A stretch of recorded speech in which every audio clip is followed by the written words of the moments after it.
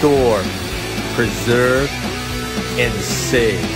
Today with the JBR Bag 100, the best in its class.